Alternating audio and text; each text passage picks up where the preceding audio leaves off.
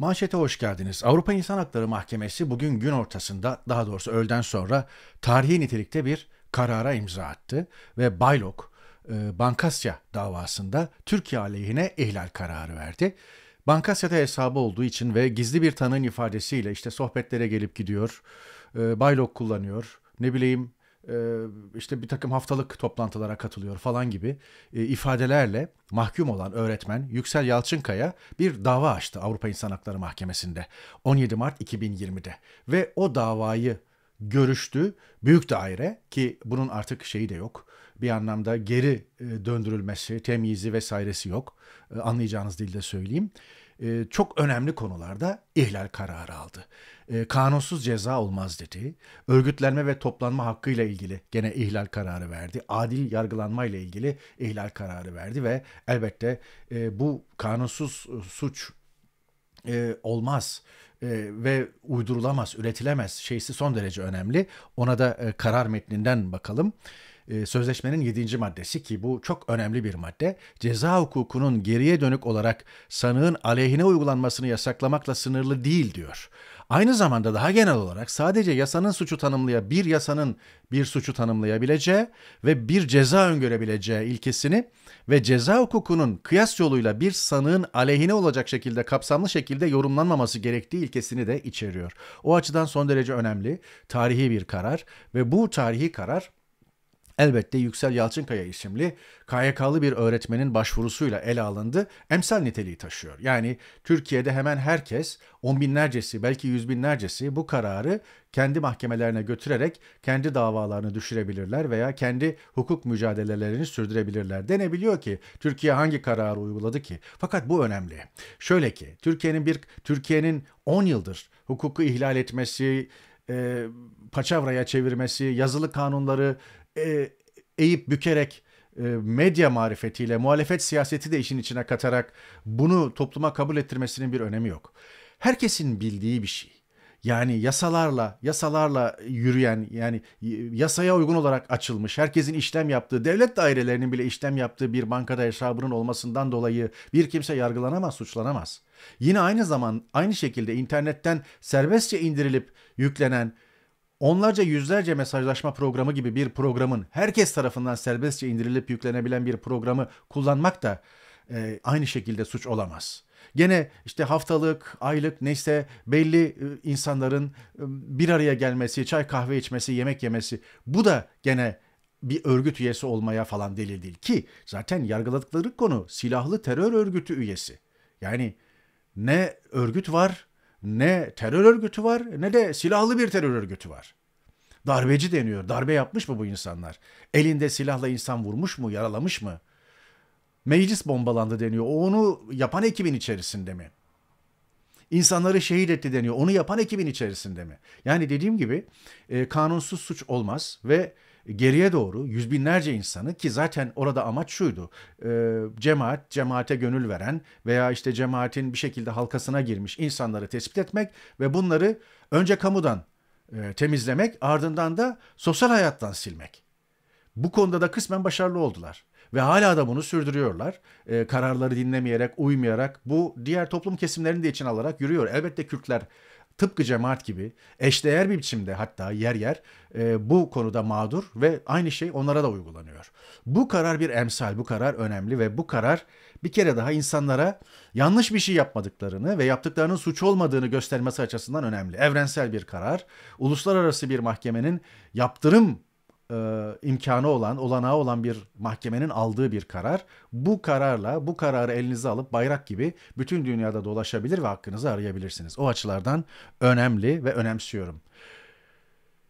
Avukat Ömer Turanlı ki bu konuları bu konulara uzun yıllardır kafa yoran hukuk mücadelesi yapan isimlerden biri diyor ki Avrupa İnsan Hakları Sözleşmesi'nde düzenlenen adil yargılanma kanunsuz ceza olmaz, özel yaşam ve aile hayatına saygı, toplantı ve dernek kurma özgürlüğü hakkında kapsamında güçlü bir ihlal kararı vermesi gerekiyor. Öyle. Öyle de oldu. Bu tweet mesajı öncesinde atılmıştı. Bu şekil bir karar çıktığında darbeye karışıp silah kullananlar dışında herkesin beraat alabileceği bir döneme gireceğiz diyor. İşte bu son cümleyi önemsiyorum. Darbeye karışanları elbette darbecidirler yargıla. Akıncı üstünde dolaşanları, dediğim gibi uçakları uçuranları, e, emirleri verenleri, Boğaz Köprüsü'nde işte ne bileyim onca katliama imza at. Hepsini yargılayın. Hem de en ağır suçlarla yargılayın. Ağırlaştırılmış müebbet isteyin. Bunlarla yüz binleri birbirinden ayırmak gerekiyor. Hiçbir şeyden habersiz garibanları, masumları. Herkes biliyor Türkiye'de e, sendikaya üye olmanın, hatta o gün nerede öyle akla zarar uygulamalar oldu ki Dijitürk aboneliğini sonlandıran hakkında bile e, soruşturma yürütüldü ve e, dava evrakına bu girdi. Dijitürk aboneliğini sonlandırdı. Neler neler. Bülent Kurucu, Ahim'in Yalçınkaya kararı her yeri cennete çeviren bir sihirli değnek olmayacak. Ama mahkemelere karşı elinizde bugüne kadar e, sahip olduğun, olamadığınız bir belge verecek. Elinize bugüne kadar sahip olamadığınız bir belge verecek. Uyduruk delillerle ceza veren, vermeye devam etmek isteyenlerin yüzüne çarpabileceğiniz bir belge diyor. Evet, hak arama mücadelesi, hak arama mücadelesi belki de şimdi başlıyor. İrfan Galip Dumlu konuyu yakinen takip eden gazeteci meslektaşlarımızdan ve o da neler olabileceğini yazmış bundan sonra. Ya, e, Ahim Genel Kurulu büyük dairenin ilk kararı olacak. Diğer kararlar alt daireden çıkmıştı diyor. Baylok, Bankasya, Sendika vesaire gibi gerekçelerle yargılanan, tutuklanan, hüküm giyen neyse hepsi için bir çözüm söz konusu olabilir. Genel kurul kararı olacağı için itiraz yok. Ee, Türkiye'de doğrudan yeniden yargılama yolu açılıyor tüm e, mevcut görülen davalarda. E, kanunsuz suç ve ceza olmaz ilkesi kabul edildiği için dosyada ne olduğuna bakılmaksızın herkesin beraat ettirilmesi gerekecek. E, bu işten bir şey çıkmaz diyenler olabilir. Kararı Kavala ve Demirtaş örneklerine bağlayanlar çıkabilir. Bu farklı bir durum demiş. Onlarda da kararlar uygulandı fakat başka davalardan tekrar tutukladılar diyor. Bu bunun altını çizelim. Olumlu karar çıkarsa ki çıktı. Devasa büyüklükte ve sayıda tazminat davaları başlayacak. Hak ihlaline uğrayanlar birkaç ay içinde mahkemelere yığılacaklar. Bir günde olmaz 6 aya şekillenir manzara demiş. Çiğdem Koç Umut iyidir elbette ama bu konuda büyük beklentiler içinde olmak büyük hayal kırıklıkları yaratabilir demiş avukat. E, Türkiye'de e, yargıyla yaka paça, mahkemelerle yaka paça. Evet o da bugüne kadarki e, aldığı kararlar, ahim kararları, anayasa mahkemesi kararları, hukuk kitabında yazanlarla e, hayal kırıklığına uğradığı için bu satırları yazmış. Böyle bir risk var mı? Evet var. Fakat dediğim gibi hak arama mücadelesi belki de yeni, şimdi başlıyor. Neden olmasın ki? Bakın yani kanal kanal dolaşan muteber insan muamelesi gören Ersan Şen, bahis baronu hakkında yığınla haber çıktı. Veysel Şahin'in kesinleşmiş 16 10 yıl 6 ay hapis cezasını dakikalar içinde sildirmiş. Şimdi böyle bir ülke. Şimdi bu insan ki bu insan Ersan Şen 17 Aralık rüşvet yolsuzluk soruşturmasının da takipsizlikle e, e, sonuçlanmasının e, şeyinden biri hmm, organizatörlerinden biri. O 60 küsür sayfalık takipsizlik kararına imza atan isimlerden biri. Yani imzası yok elbette ama arkada suflörlerinden biri. Ki zaten dönemin Halkbank yargılanan ya da daha doğrusu soruşturulan Halkbank Genel Müdürlüğü'nde avukatı. Şimdi bu insan 10 yıldır muteber bir biçimde kanal kanal dolaşıyor. O sizin muhalif dediğiniz kanallarda da o muhalif dediğiniz gazetecilerle karşı karşıya ve sözlerine itibar ediliyor. Bir hukukçu olarak falan hemen her konuda sadece hukuk değil siyasetten dış politikaya ekonomiye hemen her konuda görüş bildiriyor ve bu insan bir bahis baronunu serbest bıraktırıyor. Ceza, daha doğrusu cezasını sildiriyor.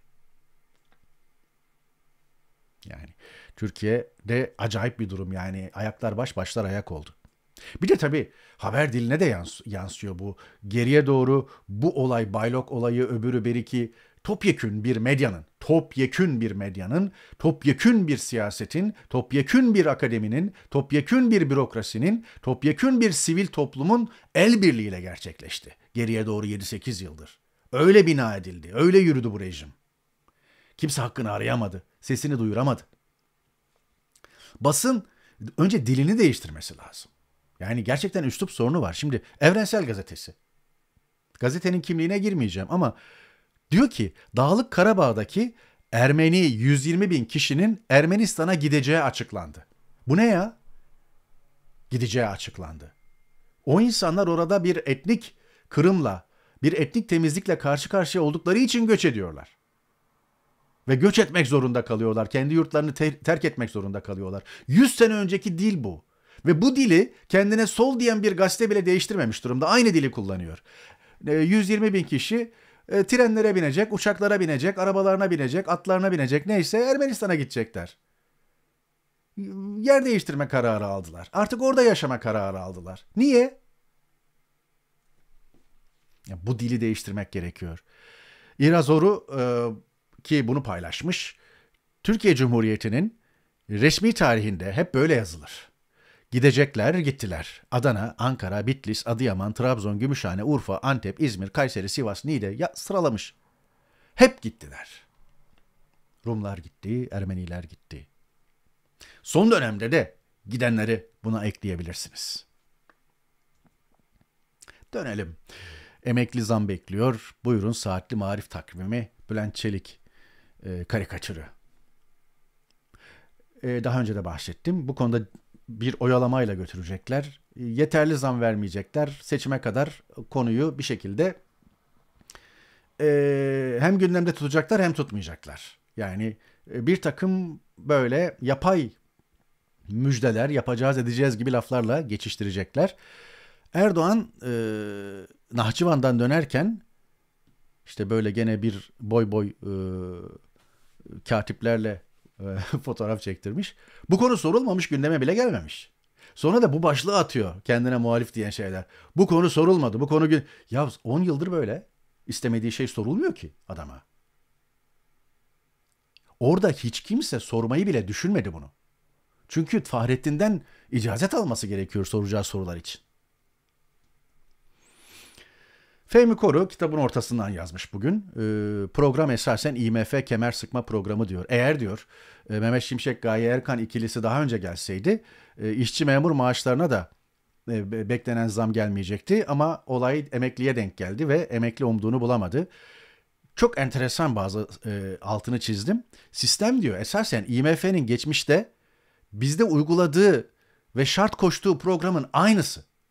Fakat adı IMF programı değil. Öyle de olmadığı için, IMF ile de anlaşılmadığı için hani e, e, şey olmuyor. Yani hmm, kredi de gelmiyor. Yani böyle bir durum var. Yani ekonomi yönetimi bir IMF programı uyguluyor ama IMF kredisinden yoksun olarak bir IMF programı uyguluyor ve bunu uygulamaya devam edecek.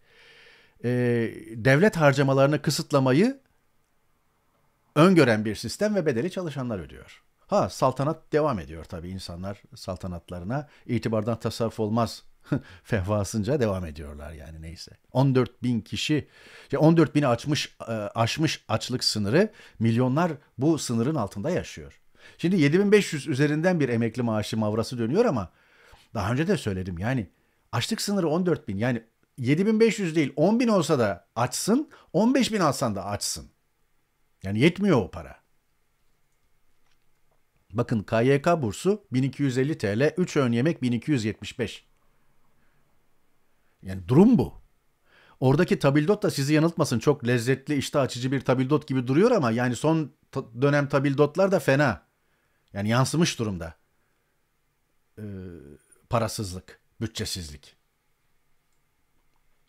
2,5 litre kola 45 lira oldu. Burayı markete çevirmek gibi bir niyetim yok. Sadece spesifik e, günlük bazı e, ne bileyim ürün etiketleriyle falan hatırlatma sadedinde ekrana getiriyorum. Yoksa her şey ateş pahası. Dil. Şimdi gazete pencere Ankara'da esnaf isyan etti diyor. Adam bla bla konuşup gidiyor. Şimdi isyan bu değil ki. İtiraz etti dersin. Tepki gösterdi dersin. Anlatabiliyor muyum? İsyan başka türlü olur. Yani yani gazeteciliğin de diline gerçekten dikkat etmesi ve şey yapması lazım. Yani dil demişken Ali Erbaş Ali Erbaş'ın Erdoğan'dan affını isteyeceği konuşuluyor. Şimdi istifa diye bir müessese kalmadı yıllardır. Artık hep bu dönüyor affın. Ali Erbaş gider başka bir Ali Erbaş gelir. Ne olacak? Ayrı bir konu ama şeye dile yansımış. Artık e, gazetecilikte de istifa denmiyor. Affını istemeye falan döndü olay. Tuhaf yani. İstifa istifadır yani bitti. Onu saray istediği gibi sunabilir. İstediği gibi e, yayınlayabilir. Ya da saray medyası. Sen de o dile uyum göstermişsen e, o zaman ne denir bilmiyorum yani. Bak milletvekillerinin neden 3 tane meclis araç kartı var falan meselesinde bu bir zibidi var. Yani zibidiliği zaten bütün toplum tarafından tescil edilmiş durumda. AKP'liler dahil Mehmet Ali Çelebi. Mevzu o değil. Mevzu Detayda gizli. E, meclis başkanı demiş ki ben kendi çocuklarıma bile meclis araç kartı vermedim. Verebiliyor muydu yani? Ya da çocukları da mı istedi? Çocukları istedi de hayır mı dedi? Numan Kurtulmuş vermedi de başka kimler verdi kendi çocuklarına? Buna bakın yani orada haber orada esasen. Haber orada. Evet toparlarken Hıfzı Topuz'u anarak e, toparlıyoruz. Kelimenin tam anlamıyla Cumhuriyet'le yaşıt bir gazeteciydi, mühim bir duayendi. Bu fo- fotoğrafı birlikte e, Gazeteciler Cemiyeti ödül töreni 2015 14 Mayıs e, katıldığımız bir törendi, birlikte katıldığımız bir törendi. Çok başka meslektaşlarımız da vardı. Onun kokteylinde özellikle arzu ettim kırmadı. E, hem sohbet ettik hem de e, bu anı bir fotoğrafla ölümsüzleştirdik. Saygıyla anıyorum büyük duayeni. Son yıllarına kadar aktifti, e, hafızası canlıydı ve e, direnmenin altını çizdi. Hemen her defasında direnmenin altını çizdi. 100 yaşındaydı, 100 yaşını doldurmuştu. Hıfzı Topuz. Saygıyla anıyoruz. Artık e, iki elin parmakları kadar duayen ya kaldı ya kalmadı Türkiye medyasında. Diyor ve bir manşeti daha böylelikle noktalıyorum. E, bir sonraki yayında buluşmak umuduyla hoşçakalın.